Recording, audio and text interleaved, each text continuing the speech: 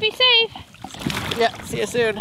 Hi, my name is Farlyn Campbell, and I'm in the Broughton Archipelago in Musgamagw Dzawada'enuxw territory. And right now, Tavish is diving 80 feet below me. The reason we're here today is this. While I was doing underwater surveys around the salmon farms for Alexandra Morton, we discovered two incredibly rare, undocumented glass sponge reefs. I had never seen anything like them before, and ever since then, I've wanted to bring Tavish back so he could film what we had discovered. I could hardly believe my eyes. It was like being on another planet. The sponge reefs my sister Farlyn had found, along with Jody Erickson, were extremely rare and had never been filmed before. These sponges are ancient animals that filter silica out of the water to build their bodies, meaning they are literally made of glass.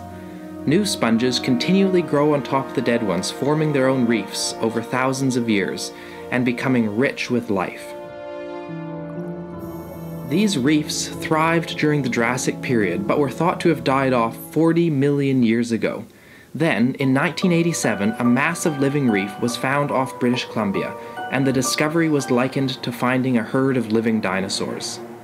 Since then, only a handful of other reefs have been discovered in the northeastern Pacific, and as excited as I was about this one, I knew the second reef was the real reason Farlyn had brought me here. But here's the problem. We're just across the channel from the first sponge reef, and here we have an open net pen salmon farm that's sitting right on top of the second sponge reef. So it's too deep for me to dive, but we have this drop camera that we're gonna lower down and see what it looks like underneath the farm.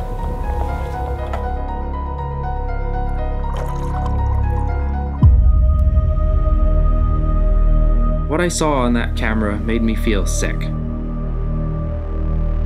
I could still see the sponges, but they were clearly dead and appeared to be totally smothered by waste and feces from the fish farm.